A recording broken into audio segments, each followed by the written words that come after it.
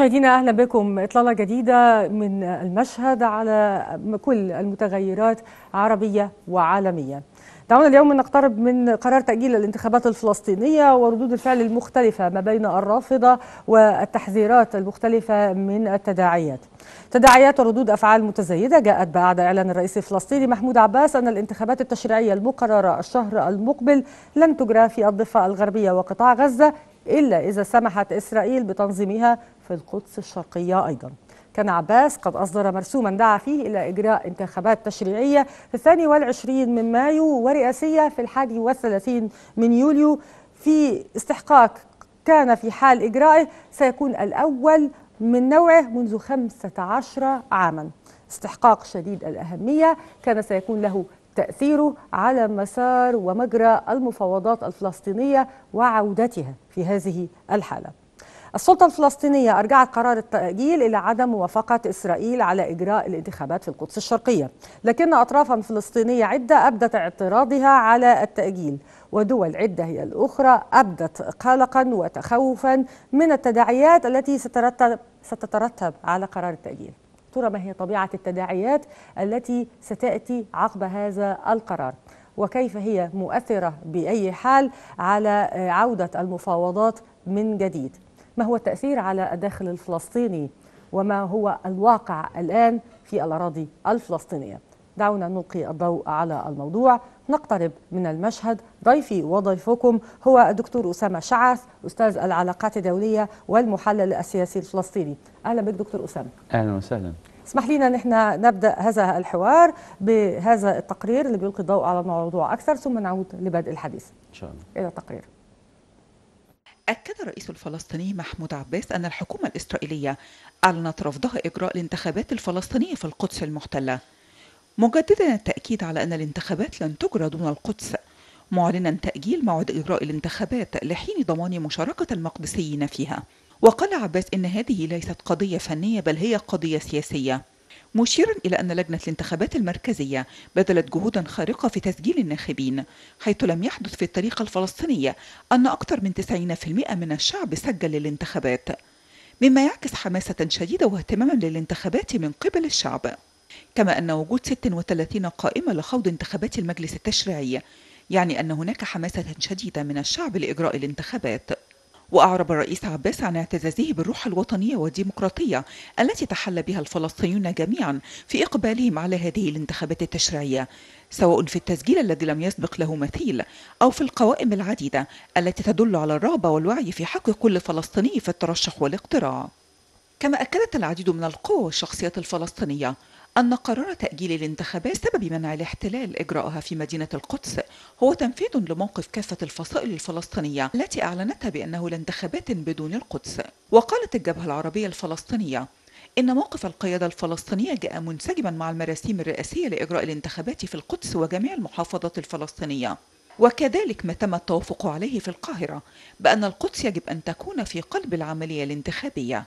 من جانبه أدان البرلمان العربي بشدة الموقف المتعنت لسلطات الاحتلال الإسرائيلية بشأن رفض مشاركة أهالي مدينة القدس المحتلة في الانتخابات الفلسطينية. وهو الموقف الذي دفع الرئيس الفلسطيني محمود عباس إلى تأجيل الانتخابات التي كان مقررا لها في الثاني والعشرين من مايو لحين ضمان مشاركة أهالي مدينة القدس المحتلة بها. باعتبارهم جزءا لا يتجزأ من الشعب الفلسطيني. أهلا بكم من جديد. دعونا نلقي الضوء على الموضوع أكثر من خلال الحوار. ضيفي وضيفكم مرة أخرى هو الدكتور أسامة شعث أستاذ العلاقات الدولية والمحلل السياسي الفلسطيني. السؤال في البداية عن الأسباب التي أدت لتأجيل العملية الانتخابية. ما هو معلن وما هو غير معلن في هذا الإطار؟ كيف ترى الأمر دكتور أسامة؟ يعني في البداية أهلا وسهلا بك وتحية لك ولاداره القناة ومصر الحبيبة والشقيقة التي ترعى دائما القضية الفلسطينية في كل الملفات. الحقيقة أن ملف الانتخابات هو جزء من عملية مصالحة فلسطينية طال انتظارها منذ 15 عاما وهناك صراع وخلافات وانقسام فلسطيني على الأرض أدى إلى تشظي الوطن وانقسام الضفة عن غزة. وبالتالي صار هناك حكومتين صار هناك قيادتين قيادة بقيادة حماس لغزة استولت على غزة والسلطة انحسرت وجودها السياسي في الضفة. ولكن استمر النفوذ أو العمل السياسي الدولي تحت رهان السلطة الفلسطينية. باعتبارها هي الممثل الشرعي والوحيد للشعب الفلسطيني كمنظمة التحرير. والسلطة الفلسطينية نتاج منظمة التحرير. بالإضافة إلى ذلك هي جزءا من اتفاقات سياسية. شملت الحالة العلاقات الفلسطينية والعلاقات الفلسطينية مع الاحتلال الإسرائيلي أو العلاقات الفلسطينية العربية والدولية. وبالتالي منظمة التحرير أسست اتفاقات سلام مع الاحتلال الإسرائيلي انتهت بإنشاء سلطة أوسلو والتي على أساسها تجرى الانتخابات في التشريعي وتجرى الانتخابات بشكل دائم. جرت في عام 1996 ثم في 2006 الآن في 2021 المفروض أن هناك مرسوما رئاسيا صدر بعد جهود مضنية من البحث وتراكم الضغوط الخارجية على الحالة الفلسطينية سواء بسبب صفقة القرن أو بسبب تغول الاحتلال الإسرائيلي وتهويده للأرض الفلسطينية. بدأ هناك شعورا داخليا لدى الأشقاء الفلسطينيين سواء فتح وحماس يعني الأشقاء مع بعض بدأوا يشعروا بالخطورة. وبالتالي ضرورة إجراء الانتخابات كمنفذ للعملية لعملية المصالحة. وبالتالي يبدأ فيما بعد بناء النظام السياسي وبناء الكيان السياسي الفلسطيني من جديد سواء تشريعي سواء مجلس وطني سواء انتخابات رئاسية وبالتالي نتفرغ فيما بعد لاستحقاقات العملية السياسية والتي هي تشكل أساس الدولة الفلسطينية بإذن الله. بعد اللي هو الدخول في عملية مفاوضات على أساس حل الدولتين واستنادا إلى مقررات القانون الدولي وهي التي تقضي بحل الدولتين على أساس قرارات الشرعية الدولية. الحقيقة أن اصطدم اصطدمت مسألة الانتخابات بعدد من ال ال ال يعني العقبات والتحديات. العقبة الأولى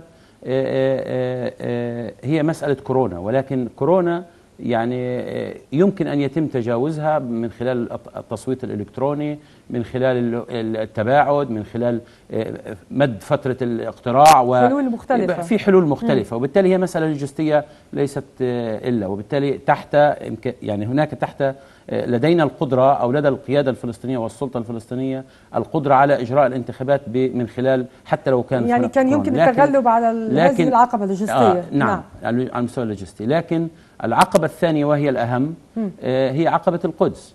القدس كلنا يعرف آه أن القدس تقع حتى الضفة وفلسطين كلها تحت الاحتلال. ولكن القدس مغلقة تماما من خلال الحواجز من خلال الأسوار من خلال الثكنات العسكرية والمستوطنات ويمنع أي فلسطيني من خارج مدينة القدس دخولها.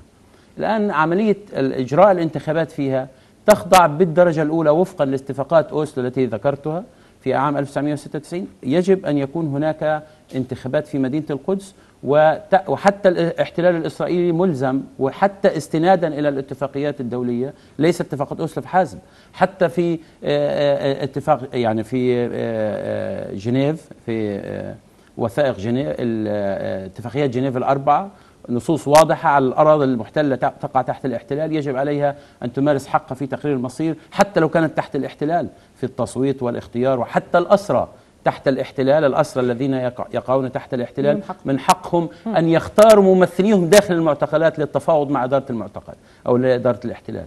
وبالتالي نحن نتحدث عن أن مدينة كاملة عدد سكانها يتجاوز 350 ألف فلسطيني هؤلاء جميعا محاصرين مغلقة أمامهم كل السبل. استنادا إلى الضمانات التي حصل عليها الرئيس الفلسطيني في البداية والترحيب الدولي والأوروبي تحديدا والدعم والإسناد العربي بضرورة إجراء الانتخابات لتجديد الشرعيات الفلسطينية ثم التوجه إلى العملية السياسية والمفاوضات وبدء عملية سياسية جديدة. تفاجأ بأن الاحتلال الإسرائيلي لا يمكن أن يقبل في هذه اللحظات.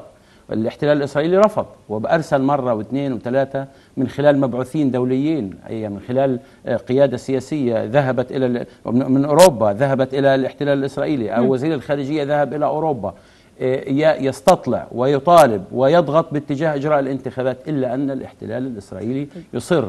لماذا يصر؟ يعني حتى أوضح هذه النقطة يصر بشكل أو بآخر لأنه وأنا بتقديري هذه مسألة يجب أن يدركها الجميع. الاحتلال الإسرائيلي يشكل الآن حكومة داخل الاحتلال.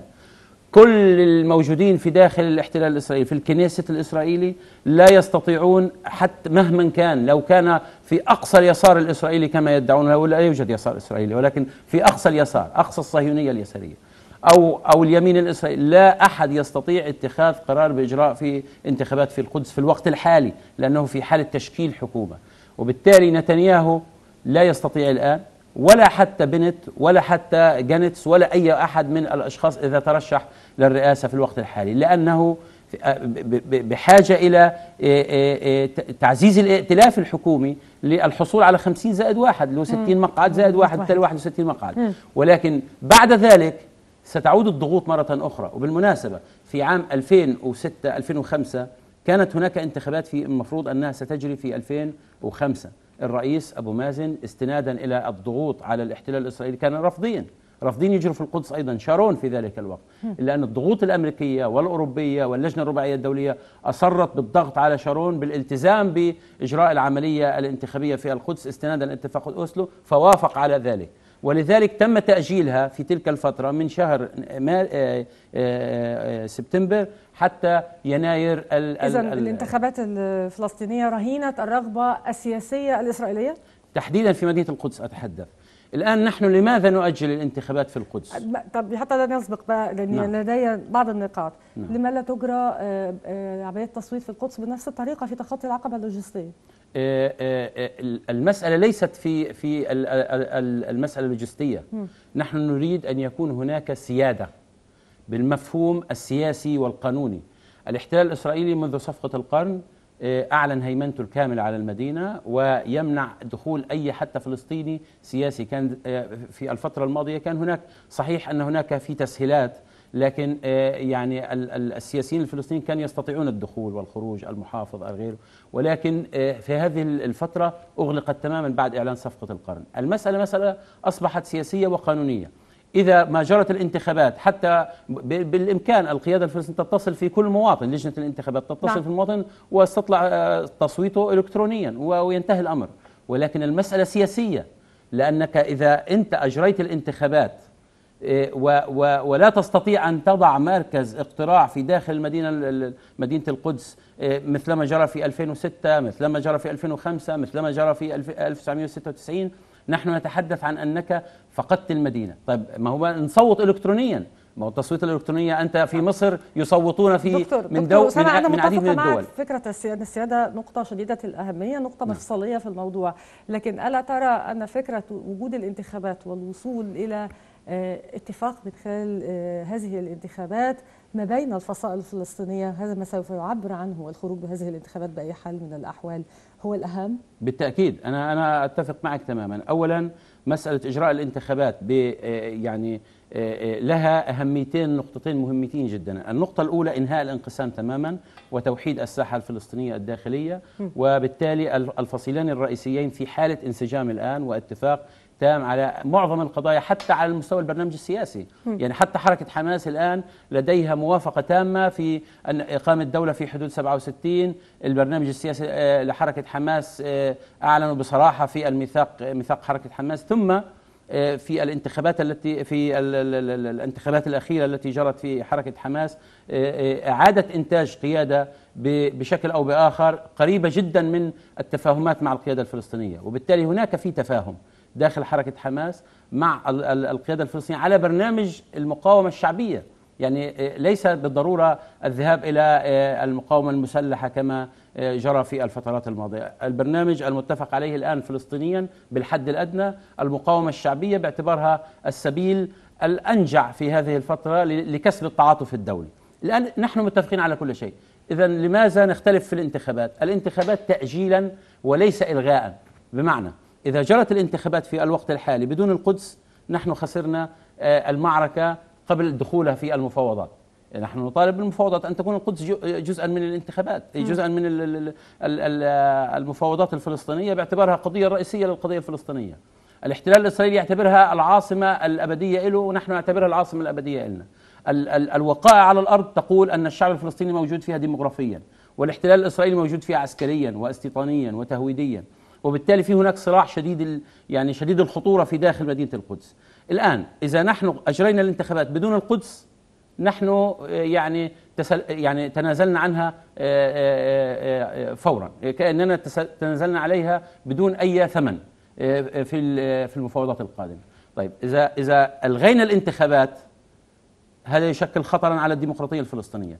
إذا أجلنا الانتخابات وهي الأهم كما جرى من خلال قرار الرئيس أبو مازن نحن نتحدث ذاهبين إلى أن الانتخابات الآن رهينة الموافقة الإسرائيلية في القدس طب المجتمع الدولي يطالبك باجراء الديمقراطيه إذا على المجتمع الدولي أن يضغط على الاحتلال بالالتزام بالاتفاقيات الدولية. على المجتمع الدولي أن يفرض على الاحتلال استنادا إلى إلى إلى, إلى, إلى اتفاقيات جنيف الأربعة استنادا إلى المواثيق الدولية أن من حق الشعب الفلسطيني تقرير مصيره ماذا طيب يعني تقرير المصير؟ التصويت هو جزء من تقرير المصير.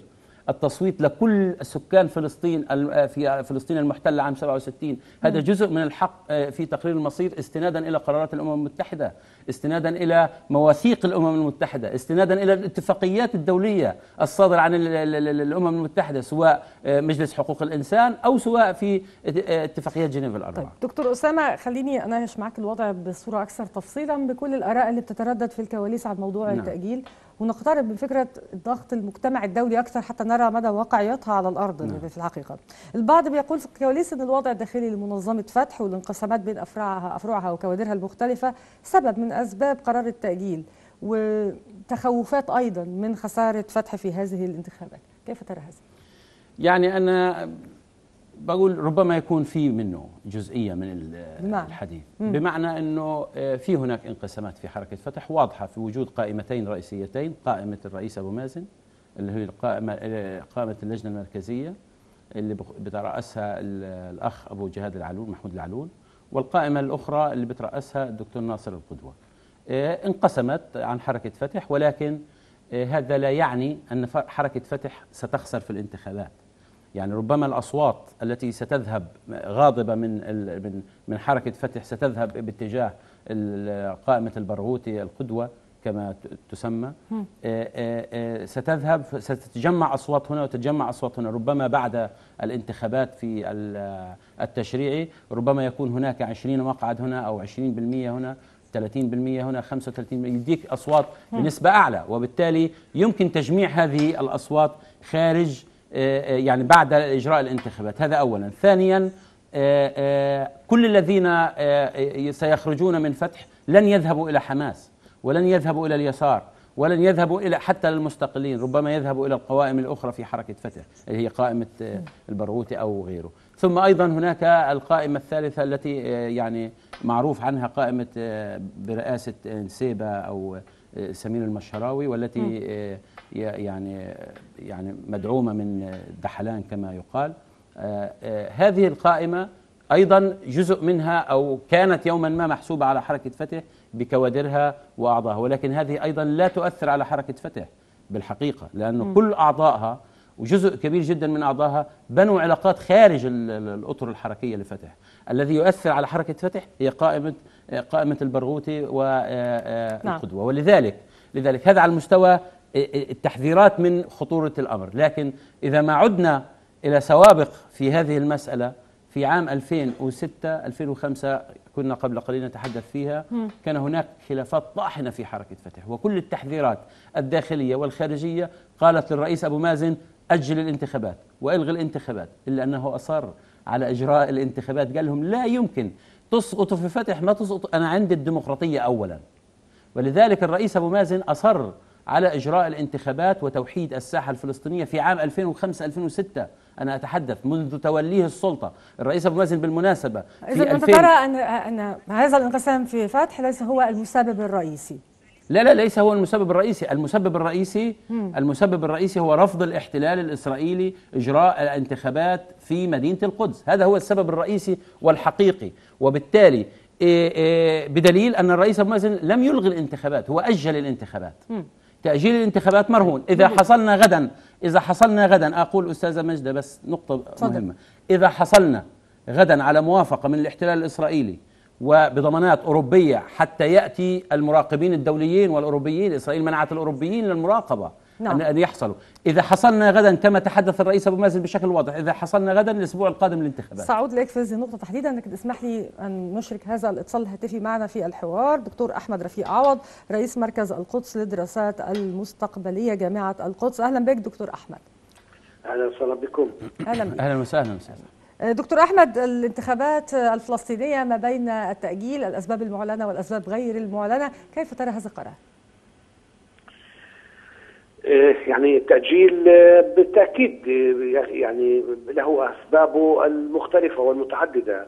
آه، السبب الرئيسي والذي ذكره الرئيس محمود عباس هو أنه اسرائيل منعت إجراء الانتخابات في مدينة القدس المحتلة. آه، والرئيس محمود عباس كان يريد آه، آه، يعني تصريحا علنيا من إسرائيل بالسماح ل- آه، بالإجراء الانتخابات في المدينة المقدسة آه، هذا التصريح العلني الذي كان يريده الرئيس محمود عباس آه، عمليا يكسر فكرة إنه هاي مدينه مقدسه مدينة عاصمة لإسرائيل موحدة وانه المقدسيين ليسوا رعايا لإسرائيل. هذا هذا البيان العلني والجلي والصريح إسرائيل بالتأكيد لم تعطيه بالتأكيد لأنه اولا نتنياهو الآن وهو محاصر ولا يستطيع أن يشكل حكومة لا يستطيع انه يعطي هذا الأمر للفلسطينيين لأنه سي- سيجعل من يعني سيجعل عاصفه تهب يعني في وجهه وبالتالي سيمنعه من أن يقيم حكومة. بالإضافة حتى لو إنه يعني حكومة الأحزاب المنافسة أو ما يسمى أحزاب التغيير الإسرائيلية تريد أن ت- تشكل حكومة أيضا لن تعطي الفلسطينيين هذا الأمر بالمناسبة لأنه سيكون ائتلاف بين وسط متطرف ويمين متطرف. وبالتالي إسرائيل لم تعطينا هذا هذا البيان وهذا التصريح على الإطلاق لم تعطينا السؤال هو إنه هل مسألة إنه الذهاب إلى القدس واجراء الانتخابات بالقوة أو انتزاع ذلك بالقوة أو كما يسمى الاشتباك مع الاحتلال هل هذا الأمر قانوني مش قانوني؟ هل هذا سيعتبر إنه جزء منه. هل هذا كسر لاحتكارية إسرائيل للمدينة المقدسة؟ هل هذا الأمر قانوني أصلا؟ هذا جدل جدل كبير. لكن كل هذا الكلام ممكن يكون آه، في في جهة والأمر الآخر في جهة أخرى. هل هناك مخاوف من إجراء هذه الانتخابات؟ آه، بحسابات طبعا في السلطة الوطنية الفلسطينية. هل هناك مخاوف؟ قد يكون هناك مخاوف على فكرة مخاوف آه، اولا بحركة فتح والجدل اللي داخلها. أيضا آه، مخاوف من آه، أطراف أخرى. آه، تريد أن تدخل ال- ال- ال- النظام السياسي الفلسطيني. وبالتالي قد يكون لك مخاوف مخاوف حقيقية مخاوف لأنه الأحزاب الكبيرة بالمناسبة آه، آه، إذا إذا واجهت التفكك أو التشظي آه، هذا سينعكس الأمر على على البلد كله.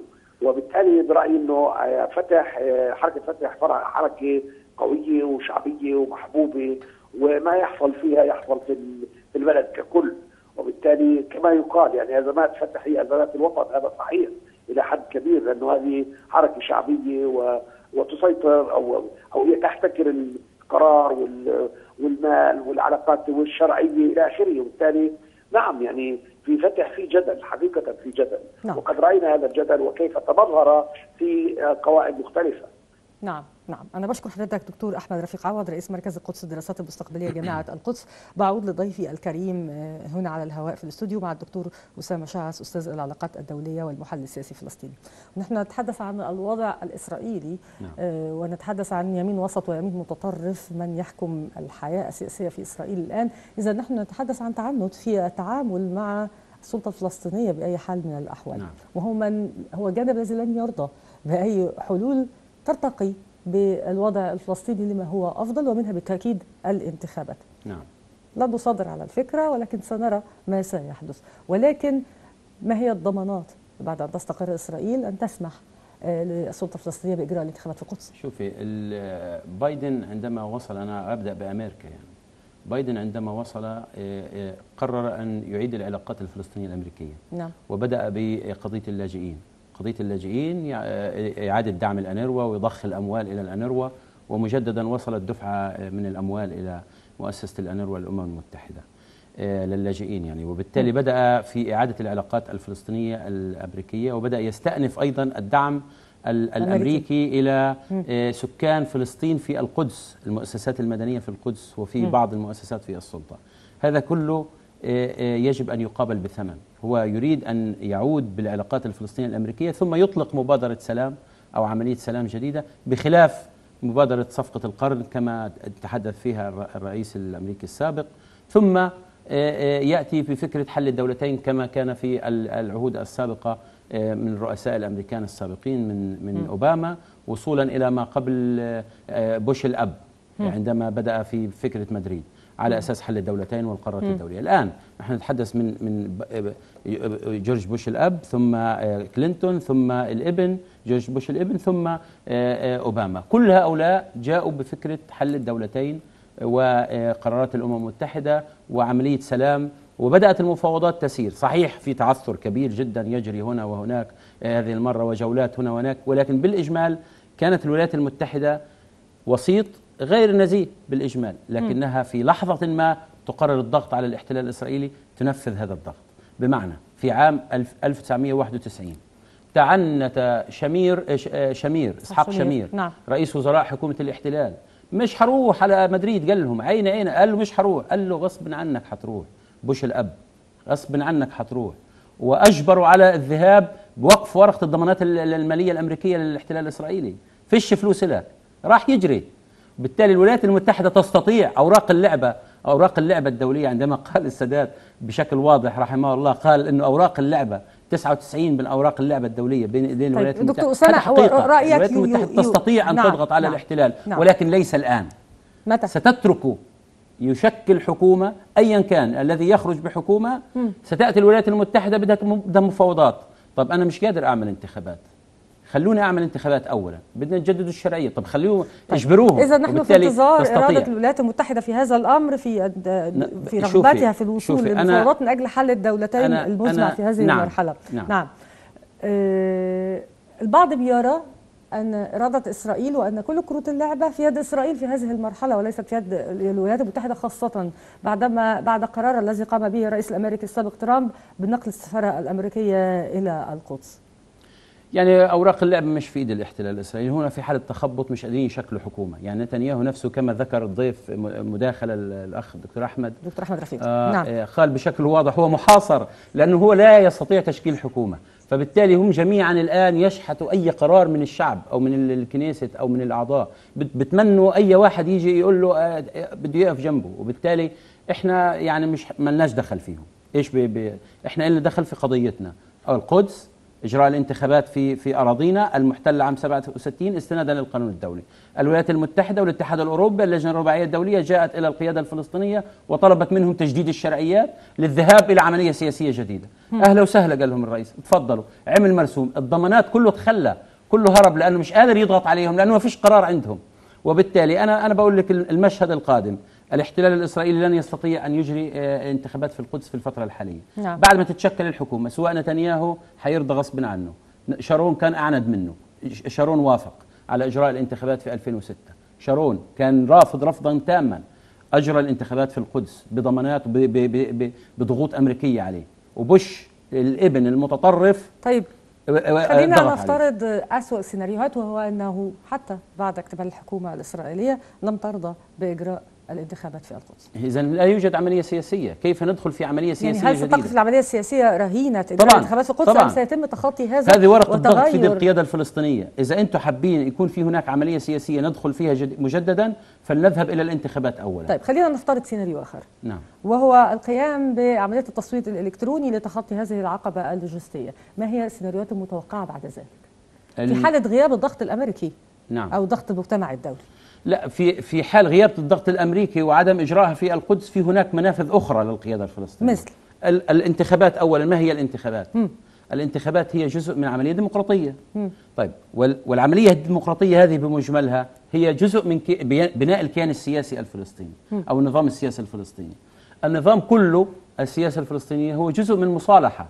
يعني المصالحة الفلسطينية سواء آه، آه، آه، بدأنا بتشكيل حكومة ثو- سواء آه، أجرينا انتخابات في التشريعي آه، سواء وحدنا المؤسسات الم- المنقسمة عن بعض في المؤسسات الإدارية في الضفة وفي غزة آه، توحدوا مع بعض سواء أجرينا انتخابات في المجلس الوطني الفلسطيني الأشمل لمنظمة التحرير والمجلس التشريعي خلي بالك مش هو كل النظام السياسي الفلسطيني. يعني مش زي مصر مش زي سوريا مش زي بريطانيا مش زي أوروبا لا.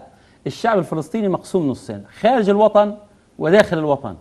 وإضافة لجزء آخر عند الاحتلال الإسرائيلي يحملون الهوية الإسرائيلية بكل أسف طبعا نتيجة الظروف.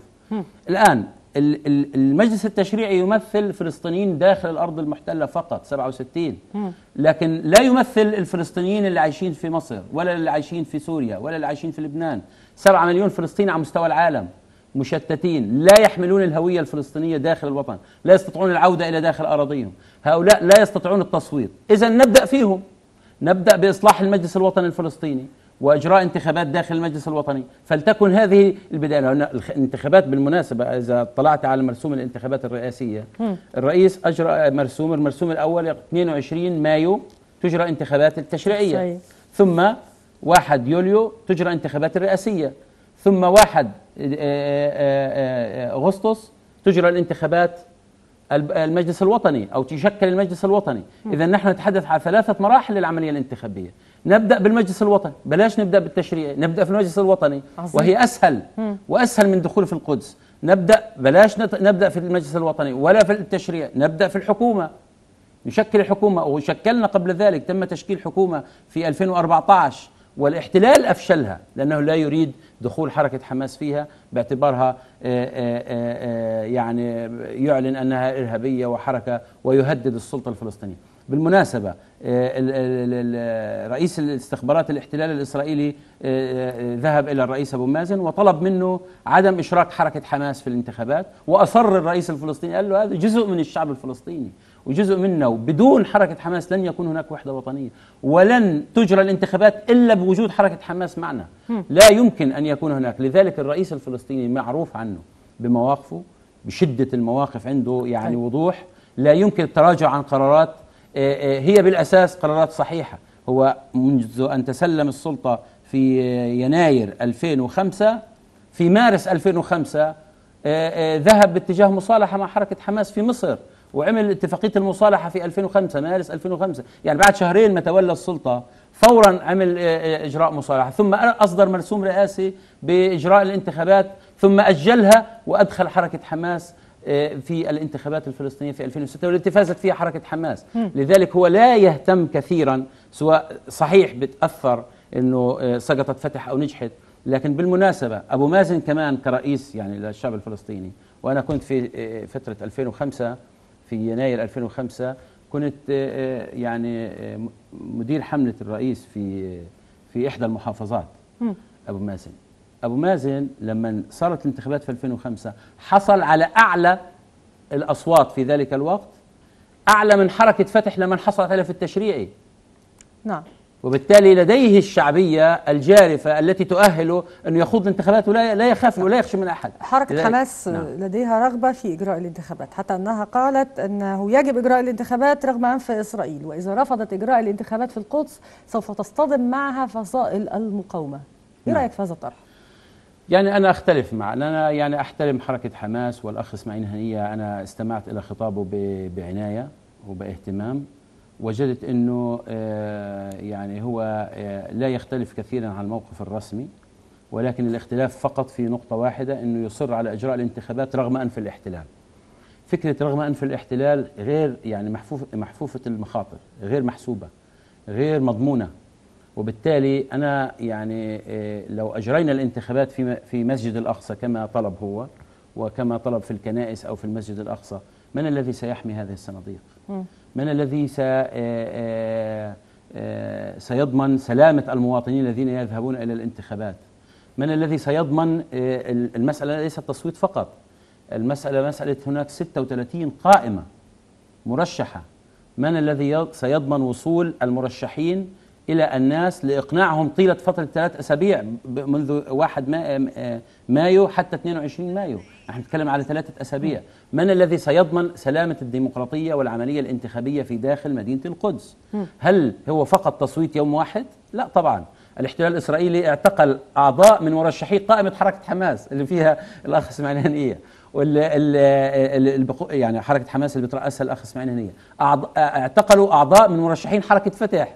وهاجموهم ودخلوا على مراكز الاجتماعات القاعات الاجتماع اللي بيجتمعوا عشان يدعوا لدعم هذا المرشح أو دعم هذه القائمة وبالتالي نحن نتحدث ليست على تصويت إلكتروني فقط على حرمان المواطنين من حق. إبداء الرأي. وحق الد- الدعاية وحق الترشيح سواء في ال- ال- اليافطات في الشوارع أو في في ال- المراكز أو في في الندوات في طيب. الحفلات في دكتور المناسبات. إيه هي الخطوة البديلة يجب أن تتخذ الآن؟ هل هي فقط الانتظار لحين الاستقرار الإسرائيلي؟ تق- لا طبعا؟ لا طبعا. أم؟ لا طبعا. يعني أنا واتمنى أن القيادة الفلسطينية الآن تكون آه، جميعا. أنا سأوجه رسالة من خلالك للقيادة الفلسطينية وثانيا للفصائل الفلسطينية وثالثا للقوى الشعبية والمدنية الفلسطينية. نحن في حالة استثنائية على المستوى الكوني. آه، نحن نتحدث عن احتلال وعدم قدرة لدينا على الوصول إلى العاصمة المحتلة وبالتالي آه، عملية الانتخابات يجب أن تكون بشكل آه، مهني والالتفاف على الاحتلال أهم بكثير من إجراء الانتخابات في الوقت الحالي. كيف يمكن أن نخرج؟ نعم لدينا مشروع مصالحة متفق عليه قرارات اتفاق 2011 ثم 2014 ثم 2017 كلها برعاية مصرية الورقة المصرية موجودة والملفات هي موجودة ومتفق عليها وهناك تفاهمات. الآن بإمكاننا الذهاب إلى حكومة وطنية كاملة بدون أي فيتو من أحد. يتم اختيار الوزراء جدد قيادة وطنية موحدة آه، من الفصائل جميعا آه، الذين وقعوا على اتفاق القاهرة أو الحاضرين في المشهد ال- بالإضافة إلى اختيار عدد من ال- المستقلين في الساحة الفلسطينية ثم آه، عقد اجتماع للقيادة الفلسطينية بشكل عاجل والتوافق على هذه الأسماء ومن ثم تشكيل الحكومة. هذا إذا إذا شكلنا الحكومة مبدئيا نحن تجاوزنا مسألة الانتخابات مؤقتا وليست إلى ما لا نهاية هذا أولا. ثانيا التوجه إلى تعزيز آه، آه، آه، آه، الاشتباك مع الاحتلال الإسرائيلي. ثالثا التوجه إلى آه، تعزيز المواجهة مع الاحتلال الإسرائيلي دوليا على مستوى الساحة الدولية من خلال الحراك الدولي. آه، آه، رابعا لدينا المجلس الوطني الفلسطيني بإمكاننا الذهاب لإعادة بناء المجلس الوطني وإشراك كل الفصائل بما فيهم حركة حماس. ثم إعادة تشكيل منظمة التحرير من البداية آه، في داخل الوطن وخارجه. وهذه مسألة تحتاج إلى وقت. إذا نبدأ بهذه الخيارات. وأنا برأيي تشكيل حكومة وطنية هي الأول. هي أولى الخطوات الحقيقة. الخطوات وهي الأفضل. نعم وكل ما نتمناه هو إصلاح آه، ما هو داخل البيت الفلسطيني من أجل الانطلاق لخطوات آه، عديدة دولية نحن في الاحتياج إليها في هذه القضية بشكل حاسم في هذه نعم. المرحلة. الفصائل الفلسطينية الرسالة الثانية للفصائل الفلسطينية حتى يعني يكون آخر شيء. أتمنى من الفصائل الفلسطينية أن أن تعزز الثقة أكثر لأننا وصلنا إلى مرحلة متقدمة من الثقة بين حركة فتح وحركة حماس, حماس، تحديدا. نعم. هناك يعني نقاط بشهادة مصرية وبإدارة مصرية حكيمة. هناك نقاط التقاء كثيرة حصلت في آه، مصر واتفاقيات حصلت في مصر بالمناسبة حتى الاتفاقية الأخيرة التي جرت في فبراير الماضي. البند الثاني منها يتحدث بشكل واضح أنه لن تجرى الانتخابات إلا في المناطق الفلسطينية جميعها بدون استثناء بما فيها القدس. نعم. وبالتالي يعني هناك اتفاق على ذلك. إذا دعونا لا نختلف على شيء ودعونا أن نركز صراعنا مع الاحتلال وليس صراعنا نحول الصراع من صراع مع الاحتلال إلى صراع صراع داخلي. داخلي. نعم. أنا بشكرك دكتور أسامة شعث أستاذ العلاقات الدولية والمحلل السياسي الفلسطيني على وجودك معنا النهاردة في المشهد. شكرا لك شكرا. مشاهدينا كانت هذه إطلالة على واقع تأجيل الانتخابات الفلسطينية. غدا قبل هذا الموعد بساعة إطلالة جديدة على المشهد محلي وعالمي ودولي